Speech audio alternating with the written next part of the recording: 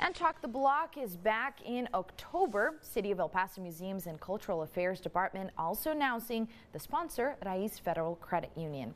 The festival will take place from October 13th to October 15th in a downtown arts district. As per usual, the festival will include a sidewalk chalk competition, temporary art installations, performances, live music, local art and food vendors, as well as free activities.